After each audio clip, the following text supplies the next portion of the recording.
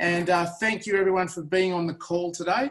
Um, my name's Brad Flynn, and I'm happy to say I'm joined by Michelle Pittman. Welcome along, Michelle. Hi, Brad, and hi, everyone. Looking forward to giving you guys a bunch of information. Now, we're going to jam a lot of information into the next 30 minutes or so.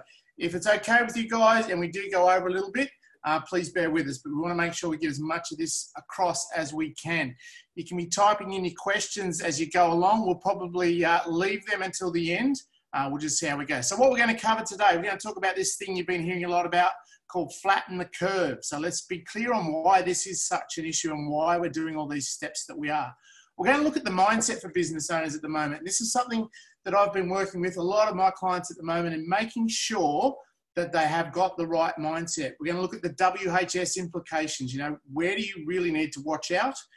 Cash. Cash is going to be king over the next few months. And we want to make sure you've got a bunch of strategies to help you with that. In fact, I'm going to share with you today my cash flow projection that I use with my clients so that you can go away and do your own work on that. We're going to talk about planning and communication, particularly in your own business, about what the things are that you need to be focusing on in both of those areas. Sales and marketing. This is one area that some people are thinking, oh, I need to cut back on this. No, my suggestion is you need to maybe look at this closer and probably go a bit harder. And then we're going to finish up with some Q&A.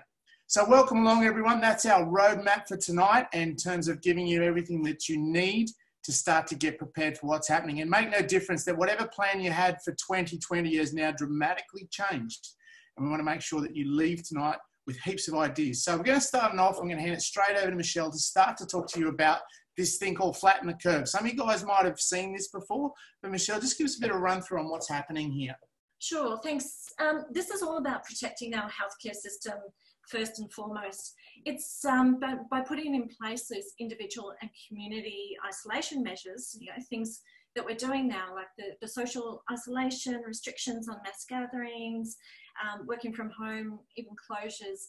What we're doing is really um, allowing that our, um, our healthcare system to really uh, respond to this outbreak um, positively. So if these measures aren't in place, we really do risk the health system being completely overwhelmed. So beds in hospital will be taken, medicine, surgeries, medical staff will be in really desperately short supply. You were telling me there a few, a few minutes before we got started about some statistics around why this is so important and the impact that it's having or has had in the past. Do you want to just share mm. with people why this is actually so important? Yeah, so it has shown that, um, to be really effective in the past. So in 1918, um, the Spanish flu hit, uh, it was pretty much global epidemics, so uh, pandemic, so same as what we're facing now. But um, the cities of Philadelphia and St. Louis in America um, Philadelphia ignored all the health warnings, um, didn't put isolation in place, didn't insist on um, you know isolation and, and cancelling um, mass gatherings and stuff. They had 16,000 deaths because of the Spanish flu. St. Louis, um, so just down the road um, from Philadelphia, they put in place all the so social isolation, encouraged um, personal hygiene, and things like that. And they only had 2,000 deaths. So it was like an eighth of the impact. So that curve's probably a pretty accurate representation with the people who didn't do anything Absolutely. with 16 as opposed to the people who did with the 2,000. Yeah, and it's been proven um, in places like Italy now, which is completely shut down. But um, before they shut down, their, their hospitals were at absolute capacity.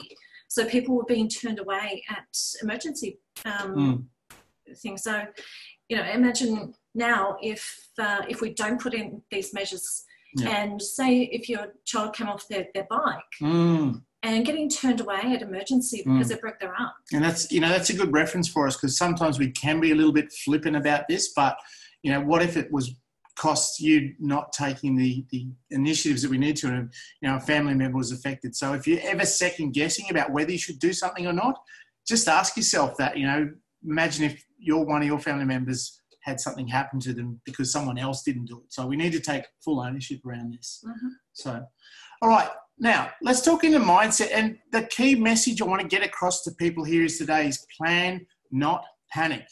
Okay. First thing is nobody thinks well when they're planning, sorry, when they're panic mindset. You know, your brain goes all fuzzy and you just cannot make head nor tail of a lot of things. So a lot of media around at the moment. And what I've sort of been telling a lot of my clients is what this mass media reaction is doing at the moment is making stupid people do stupid things faster. Okay, so stick to the facts. You know, in this day and age, we have pretty good communication systems, but make sure that you, if you find yourself panicking or you're hanging around panicking people, you may need to start to think about moving on to someone else. Be positive. Now, this is a, an opportunity for a lot of business owners to step up and take a strong lead for their team. All right. So just be really conscious of what's going on. Having a clear plan. So, out of today, I want to make sure everyone has at least the top five things that you can leave this webinar for and go and put into place and take action on. Otherwise, you've just sort of wasted 30 minutes or so of your life. So, let's get a good plan. Quite often, opportunities are wrapped in problems, and this is where real entrepreneurs come to the fore they can identify the opportunities and things that are missing in the marketplace. And, and there is going to be some huge markets come out of this at the moment because of the gaps that's being created. But finally, I think the one thing I want to really encourage people to do is not have the news on in the background or watching the news all the time. Check in every now and again, but just be really cautious and aware of what's going on, but making sure that you stay clear headed. You know, there's no point in getting swept up in all the hype and hysteria because it's not going to be good for you in the long run. And here's the thing though with businesses, there's this thing called the seasons of life or the seasons of business. And we see this as a human principle time and time again. We start out in summer and everything's great. So in a business context, we're making good profits, we've got great team, we're sailing along quite nicely. And then all of a sudden, we get to autumn. And in America, they call it fall. And it's probably quite apt at this point. And if I'm to use a farming methodology, when it's summertime, and farmers see this time and time again, they're building up, you know, stocks of hay in the shed. They're making sure they've got great cattle. There's heaps of feed for them. They're, they're always preparing. Now autumn comes in business. We need to start to trim down. If we were looking at a farming analogy, we need to look at what animals do we maybe need to get rid of. In your business, there may be some team members that we need to look at closely and, and make some decisions around because inevitably winter falls. Now, the thing is, at the moment, winter has come crashing in. We really didn't get much notice about this. But now's the time, all the strategies we're going to be talking about today are going to help us get through the winter. Because inevitably, and this is probably one of the biggest points I want to get across, spring will come. This is not going to last forever. And the opportunity that I'm speaking to a lot of my clients through Chamber and other businesses is be ready to accelerate out of this because when we do come through out the other side, the opportunities are going to be massive and we're going to get back to summertime again. And here's the fact this happens every seven to 10 years in business. You know, as you think back over time, we've had swine flu, we've had bird flu, um, SARS, we've had GFCs. It's part of the natural cycle. So make the opportunity here to learn as much as you can about what's happening in the wintertime.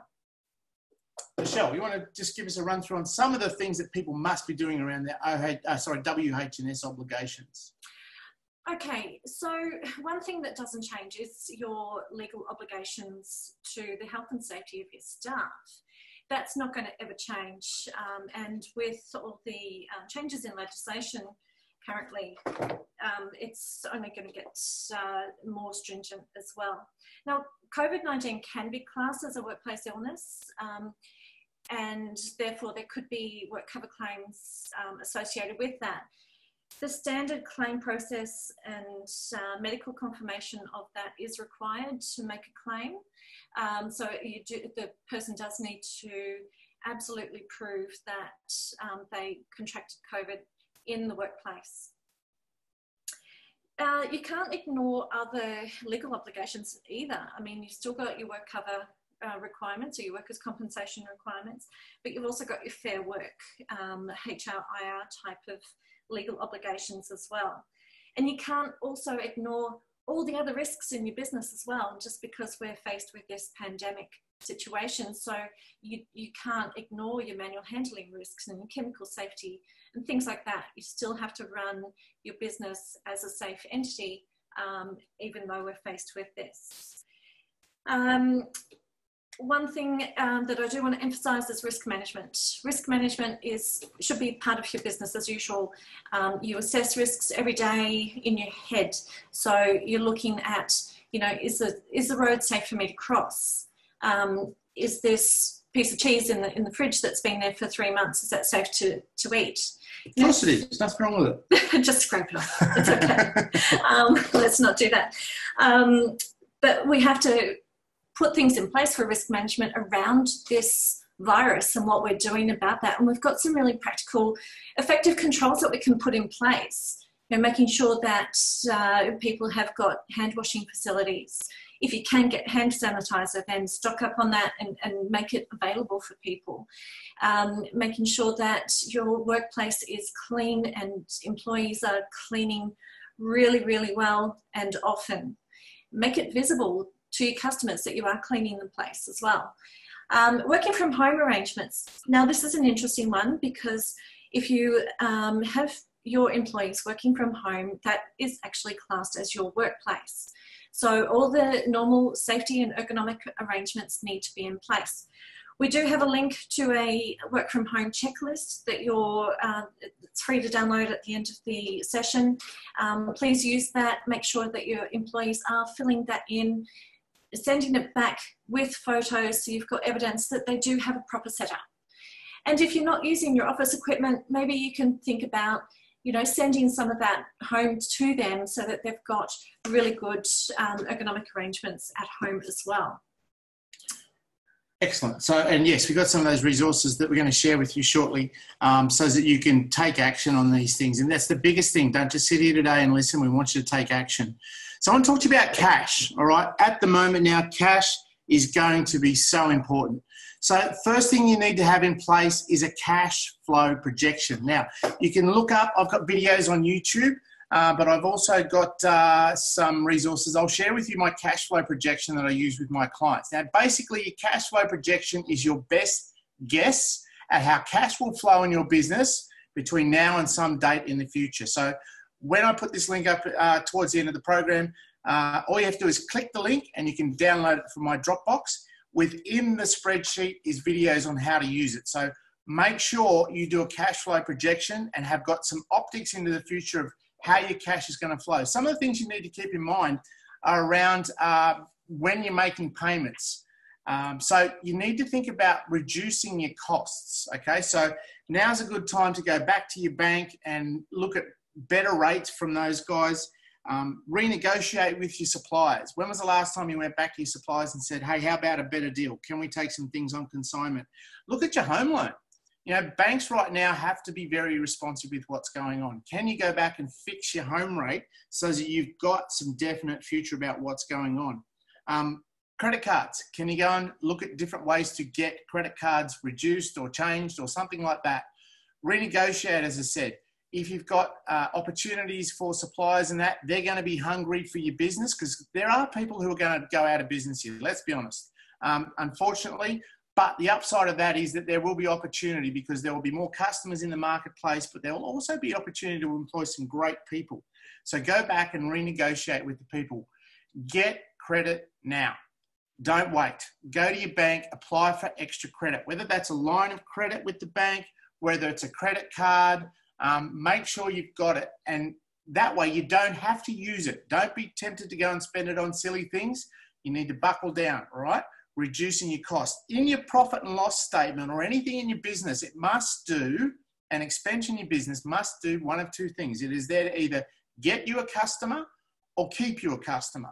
So if you need a basis to review your profit and loss, use that to establish whether you need to be spending money on those things. And what happens is over time, we sign up for online subscriptions and things like that, and we forget about them. Okay, now's the time to go back through your bank statements and look these things up and go, oh, no, that's not really helping me get or keep a customer. All right, um, talk to your bank. We had uh, our Chamber of Commerce meeting last night, and there's been a few people I've talked to today that the banks will be very responsive. Don't wait, okay? Get on the front foot. Go and talk to your bank as soon as possible.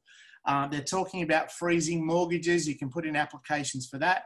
The Queensland government actually has released, uh, I'm not sure the exact figure, but they've got some business loans that are available that you can apply for. And you can apply for anywhere up to $250,000 worth of a loan that is interest free from the government. Okay, so keep your eye on some of the different chambers uh, things. We'll be putting things like that out. But make sure you go in hard and early on this. Get your cash flow projection done so you can see what's going on, reduce your costs, and all these factors are going to help you sleep at night when you start to get some control of what's going on. The other thing is get your cash in. If you've got debtors that are outstanding, get on the phone, talk to them, and ask them to commit. When are you going to be able to pay that by? And get them to commit because there's some psychology that goes on here as well. Um, they're going to feel obliged to actually pay you back, but also the squeaky wheel. If they're not paying, keep ringing, keep ringing. Make sure it's your money sitting in their bank account. You need to get hungry and go after it. Quite often, if you're a husband and wife team, the wife is really good at this. We call them the velvet sledgehammer. All right. So make sure you're looking at your um, receivables and you're getting on top of them and don't wait because it's going to be too late down the track. You need to get that money in now. Okay. We're going to look at some planning work now. This is all about what you can put in place now. Um, think outside the box. What can you do differently? I've seen um, quite a few um, pubs and, and restaurants making takeaway meals and um, meal planning, um, doing home delivery, things like that. Think, think about what you can do with different skills and, and, equipment. Ask your, your, um, your staff what they mm. think. Staff are always a really good one on this because Absolutely. they're sort of at the coal face and they quite often have got some of the biggest ideas and breakthroughs. So make sure you're checking in with your staff. They're perfect for this. Absolutely, and consultation is also a, a, safety legal requirement as well. But it's also great because when you get participation in a problem, then you get ownership of that solution. Mm. So ask them, ask them. They, they might have different skills that you don't even know about mm, mm. that can be used in this sort of situation. Um, you know, communicate with your workers, and we'll talk about that in a second. But also um, plan what you can do around your award requirements, know what award you have got and what you can do. Say if you had to do a stand down, if, um, if a, a, worker refused to come to work, what if somebody um, comes down with a case of COVID? Or what if they um, have to stay at home because somebody is sick? Um, or, God forbid, if the um, school, schools closed down and um, the kids are at home? So no. yeah, but we do have to think about that yeah. now and plan for it. Um, so there's uh, there's some things to do. Look at um, professional development of your team as well. Mm. What can you do? What can you arm them with to come out of this situation bigger, better, better skilled mm. um, and, and hit the ground running. This is one of the this. things that I'm talking with my clients about. If it does slow down and we've got our cash flow projections in place, now's the time we're actually stepping up working on business. Okay, so we've got lists and lists of things that we're working on to get in place now so that we come out of the back end of this and accelerate a lot of the business owners who aren't being positive are sitting on their hands and they're worrying and not doing anything and their head's going crazy. So this is a really good opportunity to get your team also, as Michelle's saying, get them to learn enough, step up to the next level, and also working on your business is a really great opportunity at the moment. All those things you've been putting off, if it slows down, get in and get them done now. Yeah, all those things that you've been putting off, like um, clearing out your storage, uh, making it a, a cleaner, better um, workplace, um, getting rid of all the, the crap that you store in the back room because that's where it lives. You know, making that a usable place, usable storage place, or um, repurposing that area. Um, I just wanted to highlight um, when you are planning um, Fair Work Australia, Safe Work Australia, and your state safety regulators and your workers' comp um, providers have a lot of information on the websites now, and they've got a lot of um, frequently asked question pages as well. So a lot of the questions that I'm being asked about, um, can I do this um, with my staff um, if they come down with a case of COVID or if they refuse to come to work, a lot of those answers are already um, provided in those facilities. But if you do have any specific questions, add it to the question and answer, and I'm happy to um, to answer them uh, at the end. Okay. Just what I at this moment, what I'd like you to do is just type into the, the box, the, the comments box, what some of the big things you're getting out of this at the moment. So this is a really good opportunity because again, you guys are probably coming up with ideas that maybe we haven't even thought of that we can then share to some of the people in here. So I'd like everyone now to just type into their question box, what's the biggest thing that you've learned? All right. So while you're doing that, we're going to keep progressing, but give us some feedback on what's going on for you guys at the moment. Let's talk about communication. Um, really, a, a, lack of good communication in situations like this will foster that dreaded rumour mill, which is like a virus. It can get out of control rapidly and cause untold damage. So make sure that you know you are communicating, you are consulting with your workers. As I said before, they've often got so many good ideas, um, and without an opportunity to provide those ideas, then you're not going to get that information, and they're not going to feel valued. Mm. Um, getting their ideas, their buy-in. How can help? Can they help? You know, what about if you um, instead of uh, giving them get, getting them the sack you know can you reduce your hours for um, you know a certain period of time so we can keep you on mm. and we can keep your workmate on as well mm. um, with those reduced hours. And that's that's an interesting factor i think we're going to see happening here is communities are going to work closer together. We're going to sort of i think head back to some of the older ways we're really looking after our backyard. And this is something we've been working hard on with chamber of commerce buy local. So um, yeah fantastic yeah. Um, and Tanya, hi, um, all the way down uh, in Melbourne. Hope you're well. Um, start feeling lonely. So, um, Zoom meetings to check in. Great idea. Yeah. Make it fun, you know, just have a couple of sessions per week where you, you dress up in silly hats or funny glasses or you, you introduce your pets. Mm. Have a morning tea together on Zoom Mm, you know, mm. things like that, so that social isolation um, isn't there. Um, but I do need to say, you know, introverts of introverts of the world unite, yeah, rejoicing, um, and having worked from home for the last five years, yeah. Um, it's it's pretty much business as usual or unusual for me. Mm. Um, but being open and honest with your staff, and sometimes showing vulnerability in this situation mm. is um, is really important because everyone's in this together. Mm. You know, mm. to get out of this, hitting the ground running, we need to work as a team. Yep. Um, so we do need to emphasize the reason why we need to do things differently is to keep our business going. It's going to look different. It's looking different for everybody. Yep. But everyone has to pull together. Mm. Um, There's some great answers coming through here. Sorry, Michelle. We'll just right. give some feedback to people here. Excellent answers coming through. Um, Deb Fay, thanks for this planning the takeoff after this is over. Looking at new ways to do things. This is the genesis of evolution right now. Repackaging skill sets, fantastic ideas. So if you've got team and even yourself, this is a great opportunity. Um, Tanya, we talked about, thank you for your contribution with the team managers there.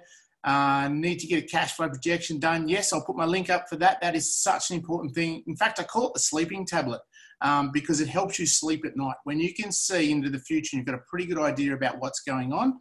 Um, how do we actually making people, uh, making us sleep at night by seeing that we're going to have money in the bank, which is at the end of what we're trying to do. Wendy, fantastic. Uh, saving a customer or getting a customer, yeah.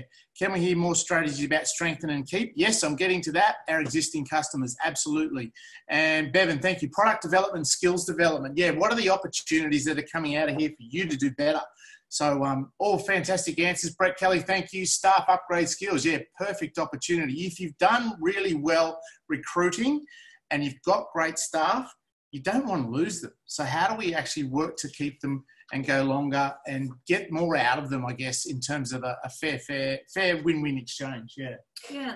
So communication just doesn't um, stop with your staff. It has to be with your customers as well. And there's a lot of different things that you can provide to your customers, whether it's in signage or social media, um, or even taking some online meetings with suppliers and clients.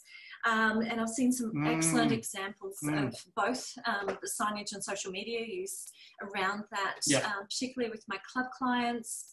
And if I do have any club clients on, on board today, hello, um, hope to see you soon. Um, but uh, you know it's, it's, best to be upfront about what your controls are that you've put in place yep. to not only protect them in terms of hygiene and, and, cleaning and things but what what you're doing to protect your staff as well mm-hmm. because without your staff you can't open your business and they can't come and visit and buy your products um, if people are affected by changes, get on the phone to them and talk to them face to face. This personal um, connection will be really important in terms of keeping those customers and, um, and, and showing that empathy towards them. Um, as I said, everyone's in this situation, every, everyone's going to be faced with change. Um, offer substitutions if you can offer different um, options or different services, um, do so where you can. Um, and no one's going to be protected from the effects of this current situation. But if we can communicate openly and honestly um, and do the right thing for everyone, including yourself, yep. um, then we'll come out of it a bit better than hopefully others. Yeah, really important thing to take care of yourself. Absolutely. So, um, next one I'm going to look at is the sales and marketing part of it. You have to keep your sales and marketing going now. Now's not the time to sit on your hands and kind of hope and pray. Hopium is something you smoke in the hopium pipe, and we're not about doing hopium, okay? So make sure you keep doing your marketing. If anything, you need to probably ramp it up a bit, okay? So have a look at what your marketing systems are and focus on them more and more, particularly around getting to know who your A grade clients are, okay? Uh, just been through an exercise with one of my clients in terms of their target market are small boutique breweries. Woohoo! What a perfect time to have a client like that. Um, so making sure that we're clear on what their fears, what their frustrations, and what their needs are, and then we're communicating in those terms. So write those ones down. What are they frightened about? And you know, apart from the obvious in here, what are they frustrated about? and what do they want in terms of their business. So have a think about what the products or services are that you provide and how you can help them overcome those particular, you know, pain or pleasure points. All right. So make sure that you're really, really understanding your clients. And like Michelle said, take them out to lunch and, and get to know them, find out more about them. Um, what about your A grade customers? What can you be offering to them? Now, you may need to repackage some of the things that you're doing at the moment again, like the delivery option that we were talking about with restaurants and that, but ask them what they want. This is one of the biggest challenges I see business owners do is we, we get in our little business towers and we think we know what our customers want. But the truth is we don't, okay? So you have to almost erase your mind sometimes and go back to your customers and, and ask them, what is it that you want? A great question to ask them is, what is it, what is it you love about us? Why do you love doing business with us at this point? Get clear on that and then do more of it. All right, make sure that you're looking after them. Um, from a marketing perspective, if you're doing different types of advertising, go back and negotiate the rates with them because guess what? A lot of their hospitality advertising, all those sorts of things now, um, is a bit of a challenge depending on their business. But your advertisers, you can sort of talk to them and find out if there's some better rates that you can get. But as I said before, the main thing you need to be doing is ramping up your marketing because, particularly if you are slowing down, get on the phone, direct mail people. If you've got people that uh, you've wanted to make contact with, send them a mail piece, follow them up. Keep in touch with your existing customers, which is what I want to talk about now. Now, if you've got questions, guys, you can start typing them into that question box and we'll get to them as we're rolling along. So this comes back to what um, Wendy was asking for about before. Repeat business, okay? This one, repeat business equals profit in your business, all right? So we need to be clear on who your A grade clients are. What are some of the things that you need to think? Now, roughly speaking, when you look through all of your clients, about 20%, one in five, are going to be what we call our A grade clients. So have a think about it. What are your A grade clients like? They, I can give you some tips. They probably pay their bills on time. They don't whinge about your prices. They're happy to refer their friends and family to you. They're happy to buy all of your other products and services and they don't whinge and carry on. So go through your database list and identify these people now. All right. First thing, simple thing you can do, send them a thank you card. So thanks for doing business with us. I'll bet no one's doing that in this particular climate of the market. You must keep these guys at all costs. Okay, so you're going to have them probably uh, marketed to, maybe, maybe not by some of your competitors, but make sure that you're out talking to them on a daily basis. Like Michelle said, keeping in touch with them. Tell them that you are in charge of the situation and things are going well. Communicate, communicate, communicate. Make sure that they have a sense of confidence with you. If they're sensing any fear or worry or, or concern with you, you need to address that. Half of my clients this week have been great. They've had the right mindset. The other half, we've had to talk about the opportunities here. And this is the thing we've got to put up a strong face and have faith in ourselves. It's a bit like when we're kids and, you know, something might go wrong. We generally look to our mum or our dad. And if we can see that they're in charge, they're in control, and things are going along, we feel a lot safer. It's a lot like that with your team and the customers that you're dealing with. Okay, repeat business equals profit. So make sure, define who your best clients are, work out a plan to look after them. Think of things like taking them out to lunch, thank you cards, phone calls, whatever it is, and then execute that plan. Make sure that you're on top of this. And the last thing we wanted to talk about was some pretty common sense, but be a good human in this. You know, this will pass. This is not going to be a, a lifetime problem we're going to have to deal with, but I think it's time to really have a look at how we've been doing things. Absolutely. And um, if you have heard Brad speak before, you may have um, heard him talk about above and below the line. And now it's a really, really great opportunity for you to just demonstrate those above the line behaviors, your language, and, and, your, and your actions. That means being a victor, taking responsibility, taking accountability, um, you know, having that positive communication. We do know that the anxiety and stress is real. We have to face that and acknowledge that. That's fine. But um, also, as Brad said before, you know, don't watch the news all the time. And if you are watching the news, get it from a reputable source. Um, but look after yourself so that you can look after your team as well.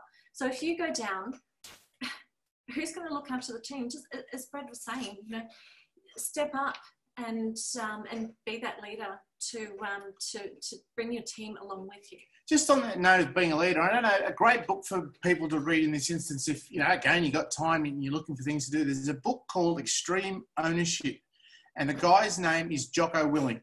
And some of you might have seen some of his podcasts and, and things that he does. But in this story, they're doing a training exercise, and you know, if anyone's had a look at the water at Redcliffe lately, there's you know, it's rough and choppy, and they have these two boats that have eight people rowing these boats in them. And their job is in this particular test to have to row out around these markers and then come back in again. It's horrible, you know, they're going into this windy surf and the rest of it. And one of the sides starts complaining that he's got a bad team and there's, you know, all these things going wrong. And so what Jocko does is he actually, each boat had a captain and he swaps the captains. And what do you think started to happen? The team that was losing with the better captain actually started winning these boat races. So that's exactly what it's like with business leaders here. We need to be the ones that take charge, keep looking up, and make sure that we're looking after our team. And they look at us and our clients and they feel safe and secure and they know where we're going and that we're going to be okay. Um, the other thing is check in with your team often, particularly if you're suddenly um, working remotely.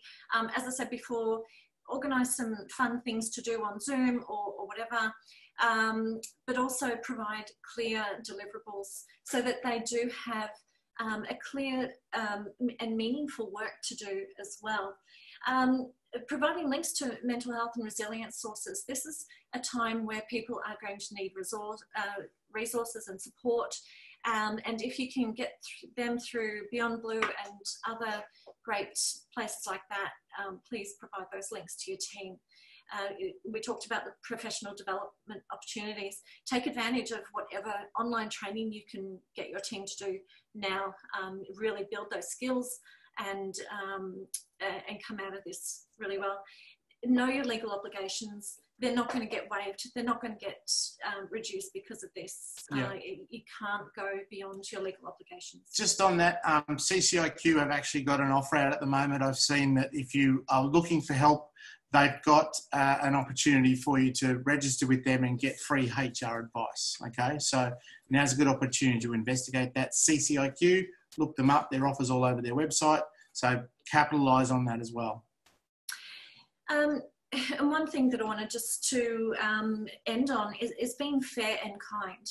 Um, as I said before, everyone's in the same boat, so everyone's facing um, the stress and anxiety and the uncertainty around this situation together. So just treat people as you want to be treated, mm. and and if that boils down to being fair and kind, then that's great. Yeah. Um, but don't do this alone. As I said, we are in the same boat. Um, it's not a cruise ship um, but um, you know, rely on your friends, do things differently, Reach out. reach out. Absolutely. Yeah, that's one of the things that we change. don't touch anyone. Don't touch. No, no, you can do the the Wuhan shake, as I think as, as Bevan called it yesterday.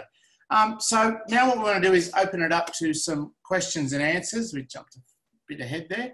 Down the bottom there is our details. I also quickly need to take this screen down a little bit so that I can find the resources and we can post them in the chat box for you. So if you've got any questions, now's the time um, while I'm just copying and pasting these two resources. So the first thing I'm going to pop in there is uh, Michelle's resources that she talked about with regard to working from home. I've had a look through this. There's some really good stuff here. So now, has that worked? Let's try again. So one thing, the, the first one that's being posted up by Brad now is the business continuity plan template. And this goes through um, basically a risk assessment of your, uh, your business and how you can start planning for um, these crazy times. Um, and there's also going to be a, the work from, uh, the work from home um, link is on there as well. Yeah, there's a good question come through from Craig. Um, how do you keep good staff through these times if you don't have enough hours for them? That's a really important question. Um, at this point, uh, I would. It depends on your business, Craig. But um, we talked about you know talking to them and reducing hours if need be. Um, but what about you know from a marketing perspective? Depending on your business, maybe you can get them out delivering flyers or um, maybe calling past some old clients or get them to maybe look at doing some different things that may help the business out. That'd be one of the things that I'd sort of look at as well. Um, there is help you can be getting from the government. As I said, I wouldn't be surprised if they have some support packages come out to help Mhm. people stay employed. We know they're doing that with the tradies at the moment, uh, with their particular um, uh, incentives to keep the apprentices on. So just sort of, yeah, think outside the box, reduce hours, look at other things that they can be doing. Can they be doing courses? Um, yeah, again, look a little bit further outside the box. So, uh, Michelle, this one's for you. Is there a possibility that if you in a position that you can't afford staff, can you talk about them about the investment in a solution, being that that can continue to work but may receive a part of the sale, e.g., taking ownership, making an ongoing profit for the business? Yeah. And they're all options that you can consider, um, Wendy, absolutely. Um, but it has to be in consultation with um, the, the employee. And you do need to have agreement and it does need to be within their award requirements if they're, if they're getting paid under award. Yep.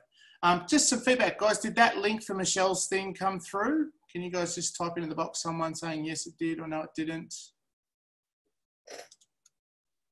I'm just posting up the no. Okay, all right, there we go. They've all come through now. Michelle should have come through twice. And the Dropbox one is for the cash flow projection. As I said, um, you can download that from the Dropbox, and there's a video you can click at the top and go through it. Um, and then my details are on there. You can also, uh, my YouTube channel has got a bunch of things on there about different areas of your business. Um, jump on there and have a look as well. All right. Uh, any other questions? We've gone a little bit over time. Good stuff. So, just on uh, uh, what I might get everyone to do is quickly, if you can type in for your situation in the business at the moment, um, is things, have you seen business drop, stay the same, or increase? So just type one of those things in drop, same, or increase. Increase, yep, thanks, Wendy. And this is the, the point I want to make is that um, some businesses are going to do really, really well in all of this. All right, staying the same, yep, thank you. Um, the trick is to look up, as I said, in terms of keeping your uh, eye on the prize, so to speak, and focus on that acceleration coming out of this. The same, the same. Some of it slowed down. Uh, a lot of clients found extra things for you to do. Yep, dramatic drop. Okay, yep, excellent. Thank you. Uh, business dwindled. So there's yeah, real mix, and this is part of the reassurance across the board we're looking at. Is yes, there are going to be some industries that dip. But also, I've got a couple of clients, and they might even be on the, the call here who uh, do cleaning products, and they go on gangbusters at the moment. Can't get enough of it in. Um, so, big drop in customers. Yeah, excellent. Make Oh, sure that you're excellent, not but- excellent. No, but thank you for your feedback. Okay. Uh, any other questions? So, What I'd like everyone to do now is just take a minute, go back through their notes and write out the top five things that you need to do. And while we're doing that, we might actually just have a bit of a chat, reflect some of the things back. So, Michelle, do you want to go back through your notes and think about the top five things that you need to do? Okay, so um, in terms of safety, risk assess, um, if you're changing things, um, providing different services, do that risk assessment um, and put controls in place so that your, your legal safety obligations are still being met. You don't want to have um, a safety uh, claim or a prosecution on top of all this. Um, and that's the same with work cover as well. You don't want to have an injured um, employee or ill employee with the associated claim um, information as well. Um, if you're working from home, make sure that they have the right ergonomic equipment and facilities and technology, technology to use, but also a really clear understanding of what uh, their deliverables are going to be. Um, check in often, um, schedule in some fun um, into your uh, online meetings and things like that. Um, you know, if you have a virtual morning tea or virtual birthday celebrations, things like that. Um, introduce um, the other team members to your pets or your kids, or both. Mix it up a bit, yeah. Um, communicate with your workers, consult with your workers, communicate with your, your, your customers. Um, acknowledge that it is a very anxious and stressful time get uh, put some put some strategies in place for yourself to look after you, um, but also look after your staff as well. I think that's a big one. You know, people, entrepreneurial business type people tend to just go, go, go, go, go and burn themselves out. Um, make sure you do have in your plan to look after yourself. I think simple things like some meditation, particularly with what's happening in our minds and all the rest of it at the moment, are always going to be very, very valuable to help keep your mind calm. Regular exercise, get out, go for a walk. Um, make sure you're sleeping well. That's a really important one. You know, do some Googling on sleep and so forth. But uh, yeah, some of the guys putting in through some of their uh, actions now, ramping up the marketing, get the cash in now. Yeah, big one. Interest-free loans, yeah, with the government. Look that one up on uh, Queensland government. Got interest-free loans for business. Uh, repeat business equals profit. Yep, pushing more advertising, letting more customers know. Fantastic, guys. If you hear an idea that you haven't had, um, make sure that you are uh, copying them down. Um, if, uh, if you haven't got the um, resources, type it in the box. Uh, I can see some of the questions and I'm answering them as we go along. Uh, and can't find the downloads. Hopefully you should be able to see this now. It should come through out the other side. If you get it, please just let me know. Um, excellent. Reviewing outgoings, repackaging skill sets, fantastic. Plan for the pickup. Yeah, think beyond the. A lot of times when we set goals, don't just have a goal to survive this because what I see with a lot of business owners is they uh, don't have a goal backed up behind the current one that they're achieving and they drop off the edge. So make sure you've got a goal set for when this is over and then you can pull out of it. So that acceleration thing that we're talking about, um, pull out of it, have a goal for Christmas, reset it. Uh, finding a way to improve the build build business in this environment. Yeah, that's the other thing, guys. You will learn an, an immense amount from this experience. Take notes of what you're learning and put it away because this is going to happen again somewhere down the track. Then, when the you know what hits the you know what, we can come back and start to actually uh, focus on what we did last time that worked and make it happen again. So there's a few people saying they're not getting the uh, the downloads. Let me see if I can get them to come up again. So I've posted them into the actual. Now, I've everyone who registered, you should, should have your email addresses. So what I might think, because we've gone over a bit, is resend them out in the email to yeah, everybody so that you've got them if that's okay. Um, just don't like spamming people too much and the rest of it. So, uh, guys, if you didn't get it, please don't worry. Um, and I guess that pretty much covers it. Uh, if anyone's got any more questions, keep an eye on your email for the downloads. Great webinar. Pleasure, guys. Um, you've got our emails. Send us questions. if we think there's a need to do another webinar like this with some more specific information based on your feedback, happy to do it. But And just um, keep in mind that the, the information is changing um, and the, the recommendations are changing every day, if not multiple times per day. So if we need to do this again to update you on, on different things and um, how this movable feast is, is um, evolving, then yeah, happy to do that. All right, guys. We said it'd be a 30 minute webinar and it moved so much in the last few days. We've gone over, so thank you for your patience Thank you so much. and uh, good luck. And no doubt, hopefully, we'll see you around and, and be able to catch up and, uh, yeah, pick our brain if you need any help. In the meantime, though, have a wonderful evening and uh, stay safe, look after yourself, Wash your hands. wash your hands, and um, take care. Bye for now. Bye.